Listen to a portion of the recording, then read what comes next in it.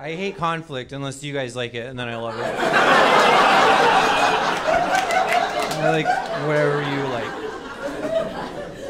I'm so careful with my words that I don't even say things you can say. Like I like all right, I was on an airplane recently and I sat down next to this gal and she tapped me on the shoulder and she goes, "Pardon me." She goes, "But my name is Tanisha." And she goes, "I'm a big fan of your stand-up comedy. I watch all your videos on Instagram and TikTok. You do wear black t-shirts every single day."